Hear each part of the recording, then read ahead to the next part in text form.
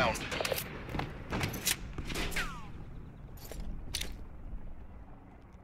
Sit rep. Circle collapse. Get to safety.